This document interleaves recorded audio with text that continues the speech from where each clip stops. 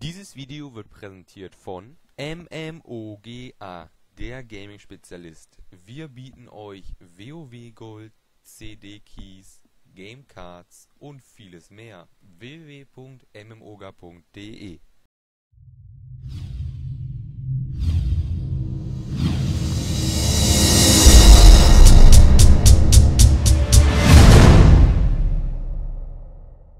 So, nun seid ihr hier richtig, wenn ihr zum Disziplinteil des Guides wolltet. Wie immer, die Informationen auf Holy klicken, dann kommt ihr ins Holy-Video und natürlich äh, Schatten geht zu Schatten und oben geht zu Übersicht. Und ja, ich will euch gar nicht lange aufhalten, denn Clery hat hier eine ganze Menge vorbereitet. Äh, dein Part, Clery. Ja, hallo. Äh, ja, ich willkommen auch nochmal von mir. Ich werde euch hier im Guide äh, den Disziplinpriestern ein bisschen näher vorstellen. Äh, zuallererst werde ich auf die Talente eingehen und die ein bisschen erläutern und zeigen, was da so Neues gibt. Äh, als nächstes dann die Glyphenwahl mal etwas genauer unter die Lupe nehmen. Und zu guter Letzt sehen wir dann auch noch den Disziplinpriester ein bisschen in Aktion äh, in zwei Hero-Endbossen bzw. Bossen. Ja, also äh, Blizzard äh, möchte ja ein wenig äh, von dem Schild-spammenden äh, Disziplinpriester im Raid äh, weggehen. Ähm, ja, die neuen Talente, die man bekommen hat, äh, gehen sicherlich in die Richtung. Werden wir einfach mal schauen, wie es sich so ergibt, ob Blizzard das gel gelungen ist.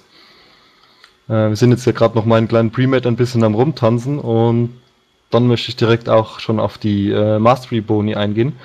Wenn man sich für den Disziplinbaum entscheidet, bekommt man als erstes äh, den neuen Spell Sühne.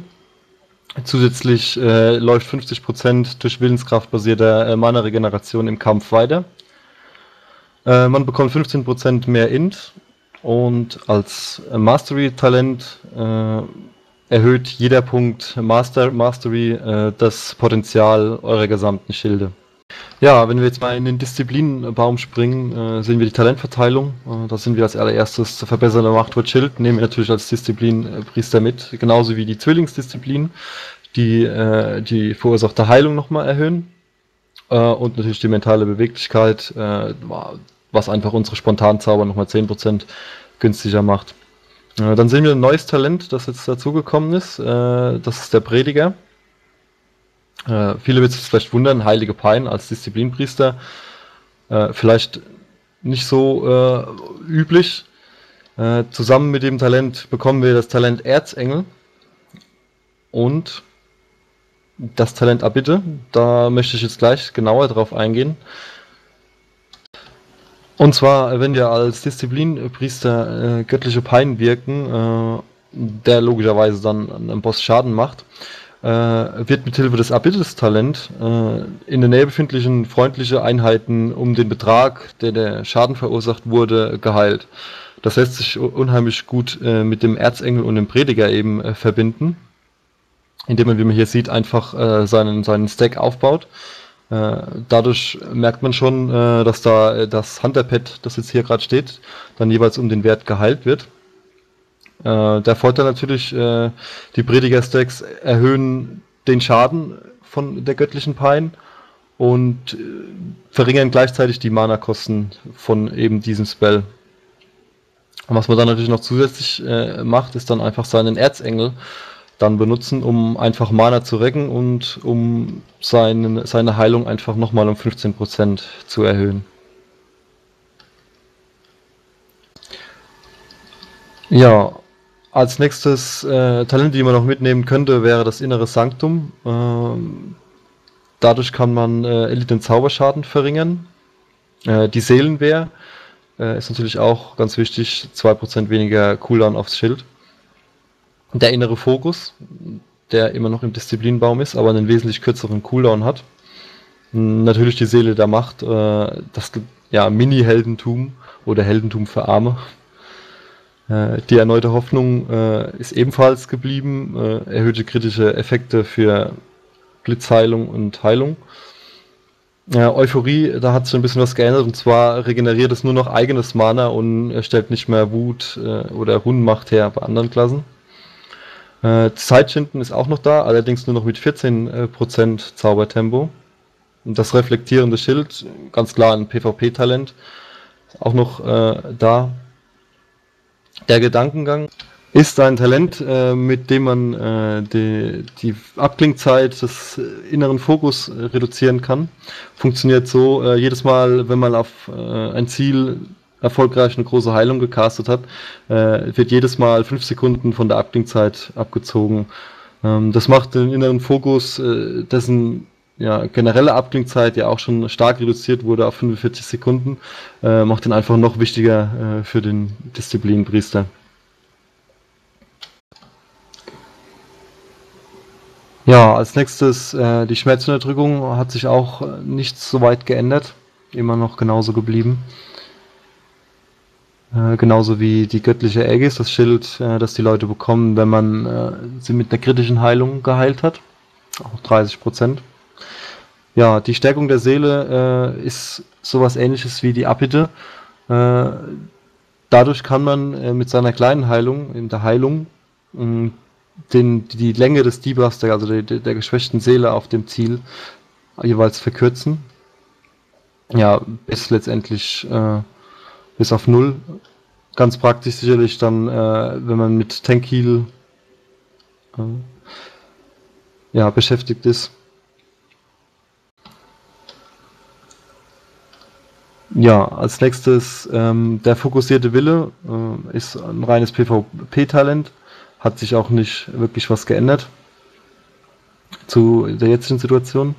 Äh, Barmherzigkeit natürlich ein Pflichttalent äh, für PvE sowie PvP-Priester, der nochmal die Heilung erhöht. Und zu guter Letzt das Ultimate, äh, die Machtwort-Barriere. Natürlich. Äh, wenn wir jetzt in den äh, Heiligbaum gehen, äh, sehen wir, dass jeweils drei Punkte in machtvolle Heilung äh, einfach die, die Heilung von Blitzheilung, Heilung, verbinde, verbindende Heilung und große Heilung um 15% nochmal erhöht, sowie äh, die Castzeit äh, von ja, heilige Pein, heiliges Feuer, Heilung und große Heilung um 0,5 Sekunden.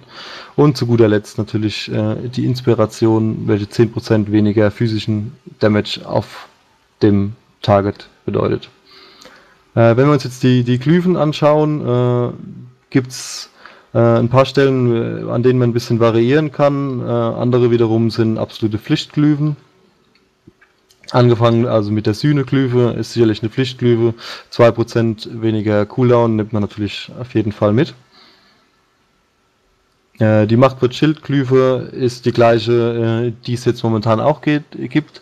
Nochmal 20% extra Heal äh, des absorbierten Werts und als neue Glyphe macht dort Barriere alle, die sich innerhalb der Barriere befinden, äh, erhalten nochmal 10% mehr Heilung. Als mittlere Glyphen äh, kann man dann die Massenbannungsglyphe nehmen, zum Beispiel. Äh, einfach nur eine Sekunde weniger Castzeit. Äh, man kann, unter anderem, da hat man ein bisschen Spielraum, zum Beispiel die Schmerzunterdrückungsglyphe auch im PvE-Bereich mitnehmen.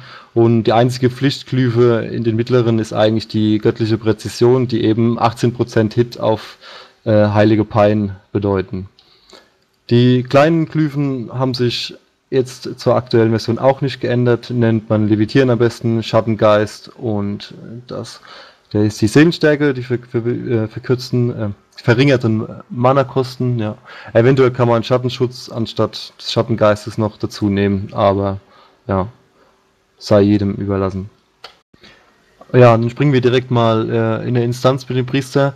Äh, das große Problem, äh, was der Disziplinpriester während der Beta-Testphase und auch während äh, beziehungsweise zum Zeitpunkt dieses Videos hatte, äh, war, dass er lange Zeit noch gar nicht fertig war und eigentlich äh, noch nicht so wirklich funktioniert, wie er, wie er funktionieren soll. Also das äußert sich halt unter anderem da drin, dass die Schilde einfach lang nicht den Teil äh, absorbieren, äh, den sie eigentlich absorbieren sollten und damit eigentlich äh, fast komplett nutzlos geworden sind, weil sie einfach zu viel Mana kosten und dafür für den für das investierte Mana dann äh, zu wenig Heilung äh, bieten. Ähm, eben daraus resultiert dann einfach auch, dass man, dass, dass man Talente wie zum Beispiel äh, das, diese, diese Heilung über den göttliche Pein äh, meistens gar nicht benutzen kann, weil man auch einfach äh, keinen wirklich starken Gruppenheal hat, außer äh, sein Gebet der Heilung, äh, das halt auch äh, ziemlich viel Mana kostet und man das deswegen auch nicht unbedingt äh, ja, spammen kann. Wir sehen jetzt hier, äh, dass äh, wir hier also hauptsächlich dann ähm, mit POM beziehungsweise mit unserer kleinen Heilung, also der Heilung, heilen. Und wenn jemand äh, mal besonders viel äh, Heilung braucht, dann eben eine Sühne beziehungsweise eine, eine große Heilung dann reinhauen. Wie gesagt, ähm, ja, normalerweise würde man wesentlich öfters äh, das Schild einbauen, äh, aber da es sich momentan einfach überhaupt nicht lohnt und Jetzt sieht man zum Beispiel auch schön, dass äh, der Schattengeist auch noch ein wenig äh, ja, gebuggt ist und nicht so wirklich funktioniert. Äh, der sich dann nämlich einfach mal neben einstellt. Was natürlich auch ziemlich ungeschickt ist. Ja. Glaubst du denn, dass generell, ähm, ja, dass sie es noch schaffen werden, das zum Release zu fixen? Oder ja, siehst du da wenig Chancen im Moment, dass es überhaupt brauchbar ist? Also, also ich denke doch, ich hoffe doch, äh, dass es auf jeden Fall bis zum Release äh, noch fixen. Also wir sind ja jetzt ähm, noch vier Wochen, noch über vier Wochen Zeit und ja, also ich hoffe doch, dass da, dass sie da noch ein paar Sachen ändern und anpassen. Also wie gesagt, das ist eigentlich, das, ist das Hauptding ist einfach, äh, dass zu dem Zeitpunkt einfach das mit den Schilden noch gar nicht wirklich funktioniert mhm. hatte. Äh, und ja, dadurch eigentlich die, ein Großteil der Mechanik einfach nicht so funktioniert, wie sie, wie sie funktionieren sollte. Also wir sehen halt hier eben zum Beispiel ein Gebet der Heilung oder so, das heilt halt einfach die Leute viel zu wenig und man hat als Disziplinpriester da nicht die Möglichkeiten eines Holy Priests da, äh, um ja. die Leute mal eben schnell hochzuheilen. Okay, ja, stimmt. Und die Schilder absorbieren nicht so richtig irgendwie. Das war das, was ich gehört habe. Und eigentlich ist es im Moment nicht so wirklich brauchbar. Ist natürlich schade, dass äh, all jene Leute, die eben sehr, sehr gerne ähm, Disziplinpriester spielen, ja, das eigentlich nicht wirklich spielen können. Spielst du normalerweise auch lieber Disziplin oder äh, ist Holy mehr so dein Bereich?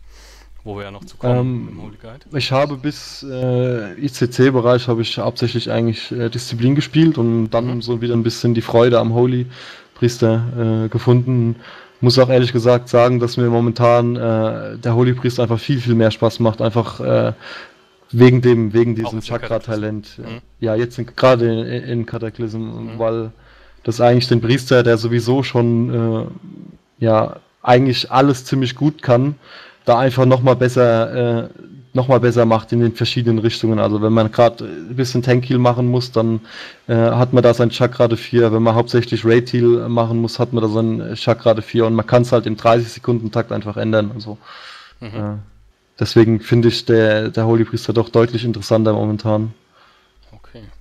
Ja, gut. Hast du sonst noch was zu sagen zum Disziplinpriester im Allgemeinen oder war es das soweit? Ähm, ja, also ich hatte ja auch angekündigt, äh, äh, Blizzard hatte ja versuch, versucht ja äh, ein bisschen wegzukommen von dem äh, schildspammenden äh, Priester, Diszi-Priester und äh, ich glaube, so richtig gel gelingen wird es ihnen unter Umständen nicht, wenn sie jetzt noch irgendwelche ja, größeren Sachen nicht noch, noch einbauen. Okay. Ja, also ihr kennt das Prozedere mittlerweile. Wer gerne ähm, den Holy-Teil sehen möchte, muss einfach hier auf Heilig oder Holy klicken und äh, ja, alle anderen natürlich ebenso, ne? Schatten auf Schatten und zurück zum Hauptvideo kommt ihr natürlich auch, wenn ihr einfach äh, ja, oben auf die Leiste zurück zum Hauptvideo klickt. Ansonsten ins Priesterforum von ihrer EAUD kann ich euch nur empfehlen oder natürlich auch auf venium.u in die Hauptsammlung des Guides, da sind alle Videos mit Skillungen hinterlegt und ja, wir hoffen mal, dass das Ganze noch ähm, gut endet für den Disziplinpriester. Ja, dann würde ich sagen, danke dir erstmal für diesen Disziplin-Guide, Cleri, und äh, ihr da draußen, wir hören uns wieder beim ähm, ja, Holy Guide oder eben natürlich auch beim Schatten Shadow Guide.